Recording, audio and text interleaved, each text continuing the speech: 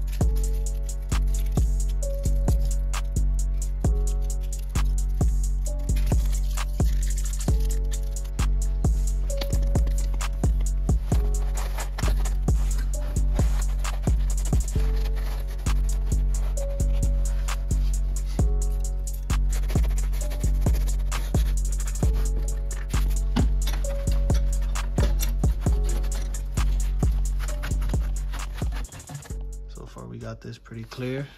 when I ahead took these plugs off. Looks much cleaner. I wiped as much as I could. Now I'm basically just gonna go ahead and sand down as much as I can. Just continue working forward. I'll be hitting it with 600 grit sandpaper that I found. That's really all that I found. So I'll be just going through, sanding everything as much as I can, all these rough spaces, and just try and get as much as I can. You can tell it's all pretty rough. It's about time to freshen all this up. Let's see what we could do with this, guys.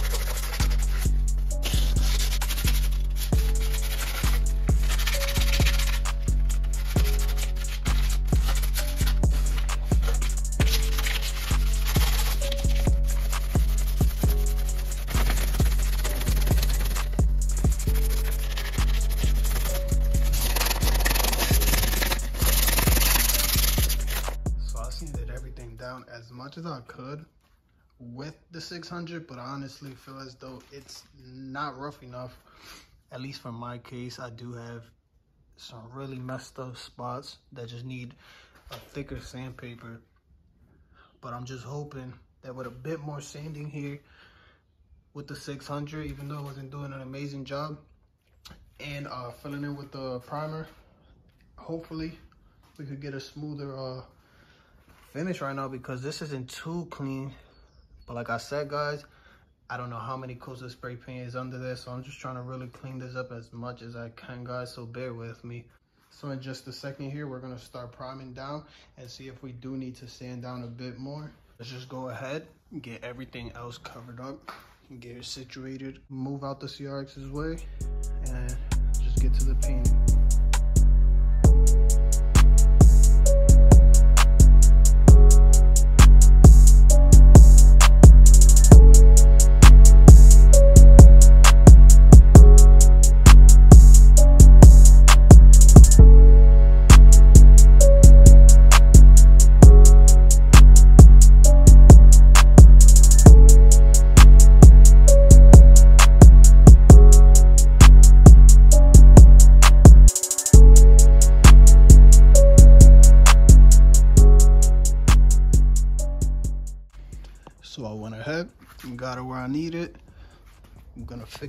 Few little edges and stuff here and there. Just make sure that I'm good. You know what I mean? Just get straight to it, start throwing some paint on this.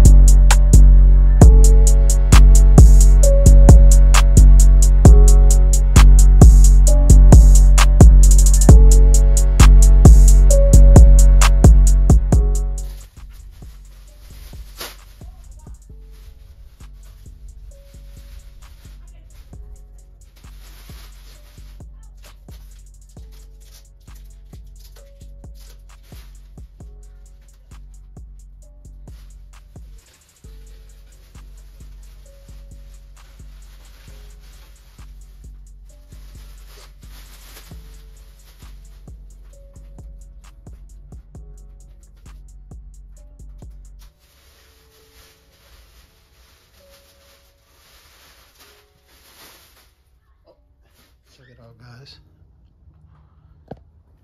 Still not even done uh, taking off aluminum foil and putting stuff together, but I'm just waiting for everything to dry. I don't want to be, you know, I don't want to uh, risk ruining today's job, so look, guys.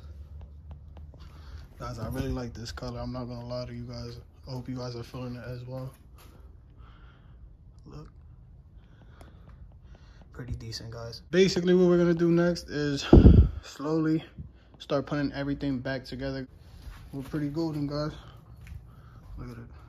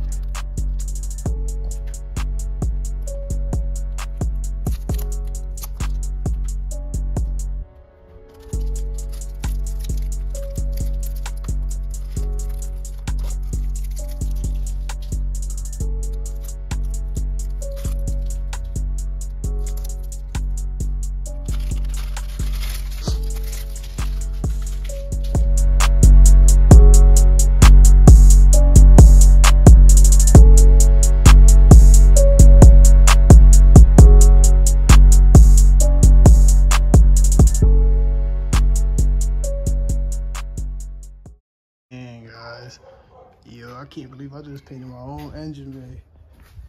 That's crazy. This was right at home, right in the garage. Simple. First time. And guys, it came out pretty decent. I cannot complain. It looks way better overall compared to how it was. Let me show you guys from a distance. Just look at it now. We got a few things we're gonna touch up with some thinner so we could get rid of. But if you rub it hard enough, it comes off. So like, that's nothing, but more important stuff didn't really get touched. I still have a few wires I have to put away and stuff, but overall, you guys get the gist of it. Trying to get you guys all types of angles. Well, guys, we're finally wrapping up this project. Uh, of painted the engine bay like i was telling you guys. Just a few wires there like i was saying to route down to the headlights and that's about it. This is literally done. Taking breaks in between just to not rush the whole process and uh in between waiting and drying for uh for drying and stuff. This will max take you four hours guys. Putting hands on non-stop. Yeah. Just let me know down in the comments what you guys think was this a L? Was this a W? Me personally, this was a W in my opinion. I don't know. I feel like it came out really good, guys. Obviously, the color scheme could look crazy off right now, but this yellow will be going away.